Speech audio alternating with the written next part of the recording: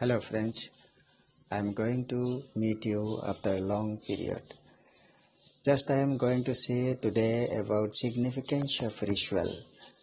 We know that almost all religion started within ancient period.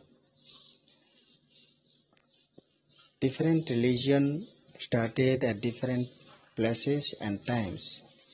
The rites of a religion formed on basis of that period socio-economic geographical environment along with science development. The rites are suitable for that period only, within which related conditions are not big changed. But matter is that all aspects like population, social, economic, environment, science are changing rapidly. Eventually, rituals made in ancient period is not suitable for nowadays.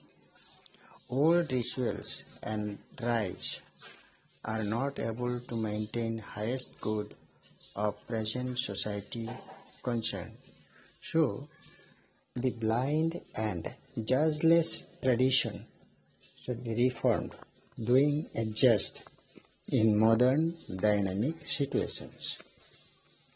Hello friends, please subscribe and like this video.